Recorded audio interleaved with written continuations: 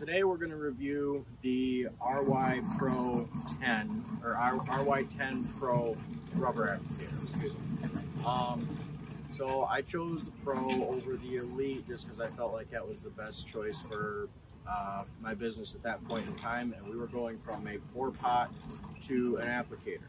So it was already a step in the right direction, but the debate was which one do we go with. Um, I looked at Gingways, I looked at uh, your, your MA10s, and I ended up going with these. Uh, very satisfied. So here's a couple of the reasons. One, you can have them heat up on the trailer while you're on your way to the job, which is huge.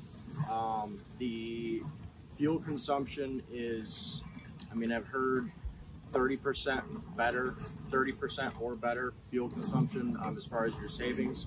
I would say it's more like 50%, especially on a colder day. Um, just, I mean, the amount of 20 pound tanks you go through on this versus other ones that I've used in the past, not comparison. Um, I personally don't have any sort of complaint with the valves, the way the puck works. It, to me, it just works flawless. And the biggest thing is going from two men to fill cracks down to one. Um, it just, you're literally cutting your labor in half. So you got, if, if you're using a crack jet like we use, um, depending on the time of year, depending on the cracks you need it, you got one guy crack jetting, the other one's filling right behind the. Um, the other thing too is I know that some people can get comfortable in their process, which is great. If you're comfortable, that means that two things. You're efficient, but you're compliant. Um, so you're efficient in what you've, the process that you've gotten used to, which is a good thing. But that means that, that also means that you could not be looking for ways to improve. Um, and that was kind of my case at first, is I felt like, well, we were doing such a good job with the pour pot and squeegee. I mean, we can just run circles around anybody. This must be the thing. And then I started thinking about the labor costs. Um, as soon as I, the, the, first time we started running this thing, I was sold.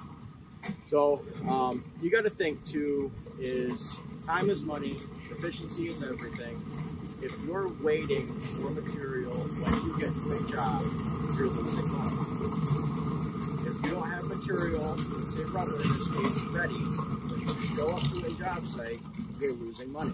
This machine is just brings up your efficiency tenfold. Um, couple of the things I like about this is it's um, pretty bare bones, which I'm a fan of as far as between this versus the Elite. Um, I'll, I'll show you a couple of things that it comes with. The temperature gauge works very well. Um, and it's very accurate. Your regulator doesn't take much adjustment and to be honest with you, you can adjust it, let it set for a few minutes, and watch your gauge drop. It's not like it's a mythical thing that doesn't work. It does work, and we use it every day. Um, the valve setup and the shrew, I haven't exactly compared side to side. It's not necessarily something that I've ever needed to complain about because it's always worked. If you got to heat it up a couple minutes with a torch right off the beginning, that's just part of filling rubber.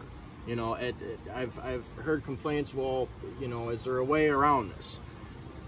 No. you sometimes just have to fill out, just heat some stuff up with a torch beforehand.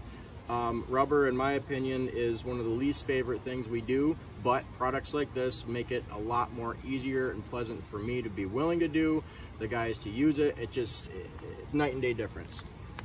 Um, the fact there's an igniter on the front, it's just a little push button.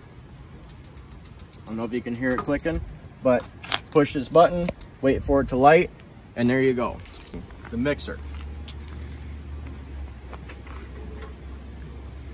Lid's easy to open, chain holds it up for you. The, the agitator works from the position of the operating stance. Um, you don't have to reach over, you don't have to walk around, nothing like that. This whole machine is operated right from this position right here. You got your screw dropping down, you got a lock for it, you got your valve, you got your agitator, you got your um, um, gauge. There we go. and you're right. The other thing too is it's quiet. The burner is very quiet. It's very efficient, like I said, um, and it's just all around. Like this, this will pay for itself in the first day you use it, and that's not an exaggeration. First day. So I'm Kyle, Integrity Earth and Asphalt, Northern Michigan. Uh, have any questions, feel free to get a hold of me, message me, whatever. Uh, thank you RynoWorx for putting on a great machine. I'll definitely be buying another one.